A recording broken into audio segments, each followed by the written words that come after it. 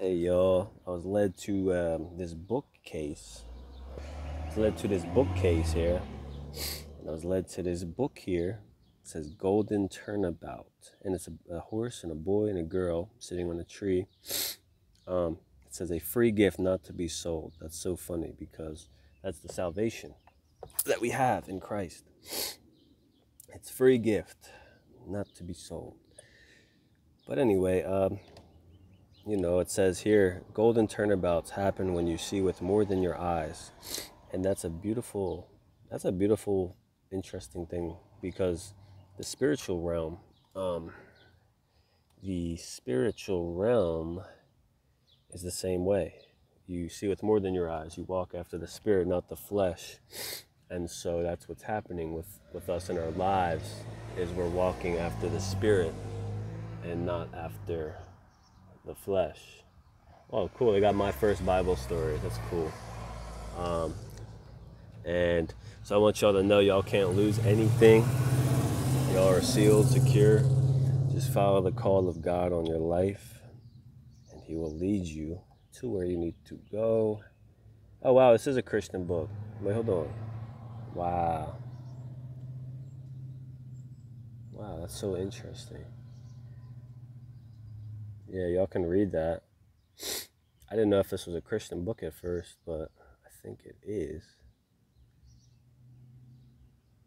Wow, look at that. That's amazing. It says, and sometimes when we least expect it, others do unto us in ways that change our world for the better, even as Christ Himself would have us do, uh, do unto them. Wow, look at that. Amazing, amazing. I'm going to put this book back. Um, actually, hold on. I feel like the Lord's telling me something to maybe open up to a certain page.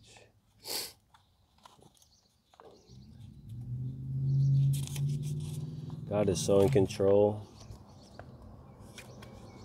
It's not. It's amazing.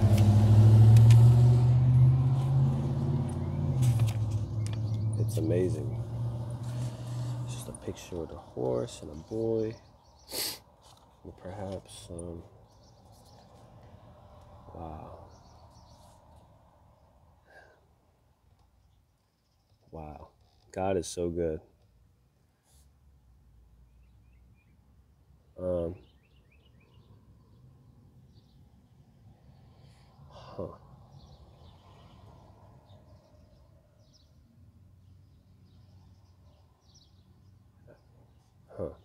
Well, I'll just put this here. I don't know if God wants somebody to read this, but you can pause the video if you want to read that.